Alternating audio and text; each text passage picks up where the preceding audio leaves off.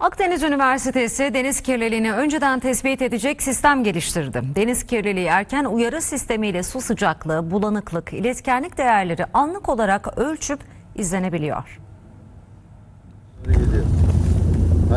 Başta müsilaj olmak üzere atık suların yarattığı kirlilik, denizlerin ve su kaynaklarının olumsuz etkilenmesine neden oluyor. Akdeniz Üniversitesi bu sorunu ortadan kaldıracak bir yöntem geliştirdi. Deniz kirliliği erken uyarı sistemi hayata geçirildi. Bu şamandıraların alt kısmında algılayıcılarımız var. Bu algılayıcılardan değişik parametreler alarak e, bu parametreleri e, sürekli web üzerinden, internet üzerinden takip eden bir proje.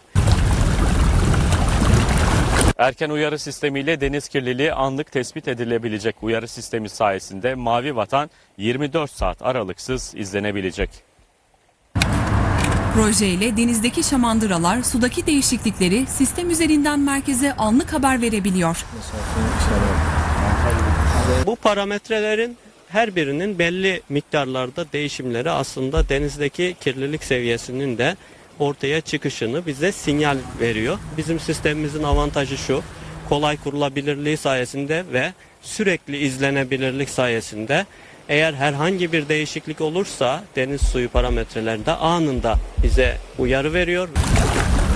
Sistem sadece denizler için değil, her türlü su kaynağının anlık izlenmesine de olanak sağlıyor.